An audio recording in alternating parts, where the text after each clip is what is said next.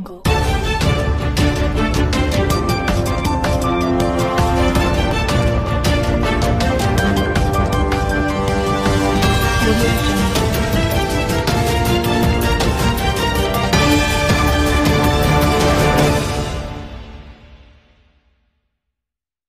नमस्कार, मैं दिलीप गौर, भारतीय जनता पार्टी का उत्तर नागपुर का पूर्व अध्यक्ष हूँ और उत्तर नागपुर में पूरे क्षेत्र में सारे कार्यकर्ताओं में, सारे समाज मेरा संपर्क इस महामारी के तौर पर बीजेपी की ओर से पर्सनली जो भारतीय जनता पार्टी की ओर से, हम हमारी मेहनत से, और बाकी कुछ दानदाता है, उनके तरफ़ से हमने सारी चीज़ें कलेक्ट करके, एक इसकी किट बनाया है, जिसके अंदर में हमने, राशन के अंदर में आटा, चावल, दाल, तेल आलू, प्याज, ऐसे तरीके की कीट बनाया है।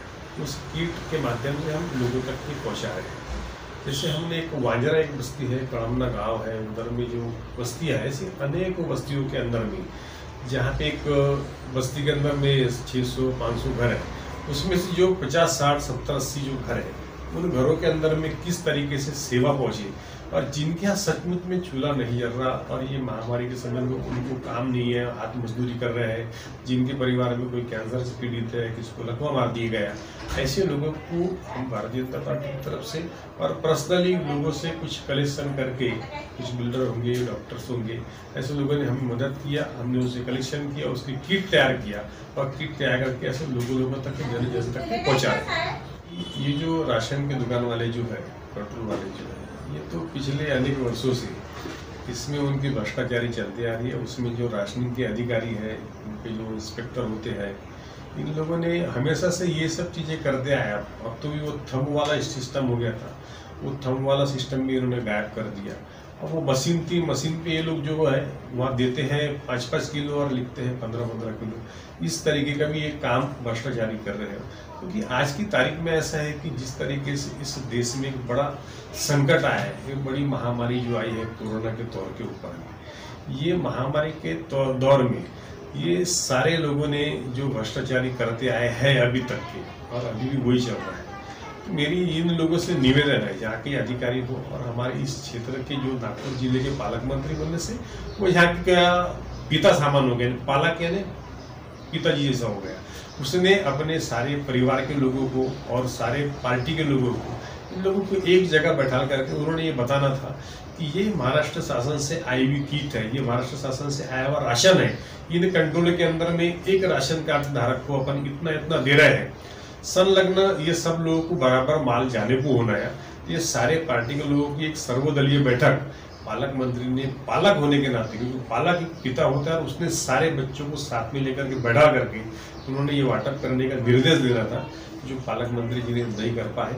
वो उनके, उसके अलावा दुकानों के अंदर में मैं बहुत सारी जगहों पर देखा हूँ कि कुछ लोग अन्य पार्टी के जो लोग, भाजपा को छोड़ करके जो लोग बैठ रहे हैं और वो अपने अपने कार्यकर्ताओं को राशन पहुँचाने का काम कर रहे हैं, जो नहीं होना चाहिए। क्योंकि ये महामारी के समय पे लोगों को मदद करने के लिए हाथ बढ़ाना चाहिए, अब वो जो आया हुआ माल दबाने के लिए नहीं करना चाहिए। ये मेरा निवेदन हमारे इस नागपुर में, नागपुर ज़िले के पालक मंत्री डॉक्टर रावत साहब से है। वो सभा के अच्छे व्यक्ति महत्व है, लेकिन उन्होंने ये सारी चीज़ों को अधिकारियों को बोल करके और अपने कार्यकर्ता को सारे दल्ली की बैठक लेकर के उन्होंने करना चाहिए था जो नहीं कर पाए। मैं भी एक परिवार की तरफ़ जब वो राशन का एक छोटा सा किट लेकर के गया और लेकर के गए जब मैं दो परिवार के लोग निकले और उनको दिया, उनके आँखों में एक पानी आ गया जैसे कि इंसान का मन भर आता है कि मेरे बच्चे तीन दिन से भूखे थे, आज तक कोई पार्टी का व्यक्ति कोई आया नहीं। लेकिन हमने हमारे कार्यकर्ताओं के माध्यम से ये सारी चीज़ें, ये जानकारी ली और उनके घर को रात को नौ बजे मैंने राशन की किट पहुँचाया ना। वो बाई इतना यानी बेचारी दुआ दे रही थी। और यही समय रहता है इंसान का अपना अच्छे काम करने का। सामाजिक क्षेत्र में इंसान राजनीतिक तो बहुत कुछ करता है। आज समाज कार्य करने का काम है और भला करने का काम है। ये समय तो भी लोगों ने भ्रष्टाचारी नहीं करना चाहिए। तो हमने ऐसी अनेक बस्ती है, जिसके अंदर में कड़मना है, गुलशन नगर है, वाजरा है वाजिली है, कपिल नगर है, कामगरा नगर है, मानव नगर है, सेंडी नगर है, इधर समता नगर है, तुम्हारा दीपक नगर है, तक्षशिला नगर, ऐसे अनेक बस्तियों के अंदर में सहयोग नगर है।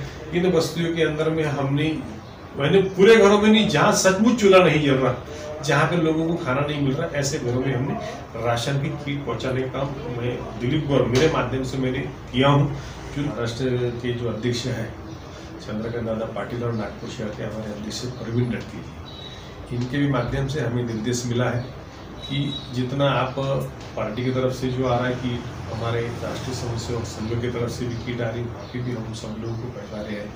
लेकिन और भी आप अपने तरफ़ से, अपने अपने ताकत से जो कलेक्शन कर सकता है, जमा कर सकता है राशन जमा करिए रॉ मटेरियल जमा करके किट आप पहुँचाइए। ऐसे हमारे प्रवीण डटके जी ने, उन्होंने अपना भी नंबर दिया है कि वो जिन्हें कुछ आवश्यकता पड़ती है, दवाई की या कोई चीज़ों की, वो भी उनसे संपर्क करें। तो जैसा हमारे शहर अध्यक्ष महाराष्ट्र के अध्यक्ष ये जहाँ जहाँ कार्य करने के लिए हमको बोला गया है कि सब जगह पे कोई भी व्यक्ति अपने घर में भूखा ना सो और कोई भी व्यक्ति दवाई से वगैरह वंचित ना रहे, उसके लिए मदद के लिए नागपुर शहर के अध्यक्ष प्रवीण डटके जी इन्होंने भी हाथ बढ़ाया है। और वैसे ही हमारे महाराष्ट्र के अध्यक्ष ने भी इन निर्देश, उनका ऐसे ही हमारे प्रधानमंत्री जी का भी निर्देश ऐसा ही है। उन्होंने भी ज़िले के अध्यक्षों से बात किया है। उन्होंने बोला है कि जहाँ तक अपने को सेवा पहुँचाना है, जो मदद लगेगी केंद्र की तरफ़ से, महाराष्ट्र की तरफ़ से और शहर की तरफ़ से भारतीय जनता पार्टी भी फुल फिल सेवा कर रही है और राष्ट्रीय स्वयंसेवक संघ भी पूरी सेवा कर रही है। इसमें कुछ मैं नाम बनाना, बताना चाहूँगा आपको कि हमारे तरफ़ में कुछ डॉक्टर के लोग भी हैं जिन्होंने बेचारों ने मदद किया है।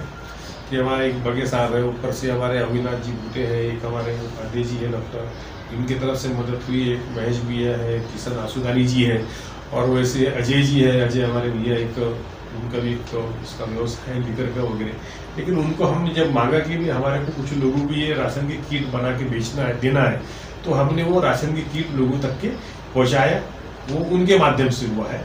पार्टी के माध्यम से, पार्टी की तरफ़ से भी आ रहा है। ऐसा करके हम, हमारा कार्य सामाजिक क्षेत्र में चल रहा है। लेकिन मेरी ये यहाँ जो बड़े मात्रा में, जिस तरीके से तबलीग समाज, जो मरकज समाज से जो वहाँ निजामुद्दीन के जो लोग नागपुर शहर में आए हैं नागपुर शहर में ऐसा पता चल रहा कि कुछ चौवालीस या पैंतालीस लोग ऐसे नागपुर शहर में आए थे, जिसमें से 20 लोग डिटेक्ट हुए हैं। जो 20 लोग सामने आए कि हम लोग वहाँ से निजामुद्दीन से आए। जो लोग 24 लोग अपने अपने घरों में या कहीं किसी के रिश्तेदारों के यहाँ बैठे होंगे। मेरी उनसे ऐसी हाथ जोड़ के विनती है कि आप अपने परिवार का, जिस परिवार में आप रुके होंगे, जहाँ आप बैठे होंगे, उनका ख्याल रखते हुए आपके मन में अगर सही में इंसानियत होंगी तो आप स्वयं आकर के अपने डॉक्टर के माध्यम से या पुलिस के माध्यम से स्वयं सामने आकर के लोगों के बीच में जाए कि भाई मैं वहाँ से निजामुद्दीन से आया था मैं फलाने व्यक्ति के रहा था। तो देश में महामारी का संकट रुक सकता है। यदि ये लोग सामने आकर के ये सब चीज़ें नहीं कर पाए तो मुझे ऐसा लगता है कि ये संकट और बढ़ने वाला है। तो ये इसी तरीके से मेरी निवेदन है आपके चैनल के माध्यम से कि ये जो लोग जो ये जो समाज के जो लोग हैं, जिन लोगों को सरकार का नहीं, संविधान का नहीं, कोई ध्यान नहीं है, प्रधानमंत्री जी क्या बोल रहे हैं, मुख्यमंत्री जी क्या बोल रहे हैं, वो कोई उनके कान पे जू नहीं रिंग रहा है। तो इन लोगों से मेरा निवेदन है, चाहे वो मस्जिद के माध्यम से बोले या कोई एक आधे उनके मौलवी के माध्यम से ये निवेदन है मेरा कि वही उन्होंने अपने लोगों को जागरूक करके और अपने यहाँ के जो लोग घर में, घर के बाहर रहते हैं, मैं जहाँ जहाँ भी बस्तियों में, मुस्लिम बस्तियों में देखता हूँ, लोग घरों में कम रहते हैं बाहर ज़्यादा रहते हैं। उन्होंने सब लोगों ने मुँह पे मास्क बाँध करके अपने अपने घरों में रहे, अपने परिवार का ध्यान रखें और देश का भी ध्यान रखें, अपनी बस्ती का ध्यान रखें। ये मैं हाथ जोड़ के विनती करता हूँ और सब लोग ये लॉकडाउन का पालन करें और अपने अपने घरों में रहें, अपने परिवार का ध्यान रखें। आप ये ज़िंदगी जो पुरपाला देता है तो उसको संभाल के रखें और अपने परिवार के लिए जीना है आपको, इसलिए आप अपने घरों में रहें, परिवार का ध्यान रखें। जो भी मदद लगेगी भारतीय जनता पार्टी और दिलीप गौर की ओर से हम आपको पहुँचाने की कोशिश करेंगे।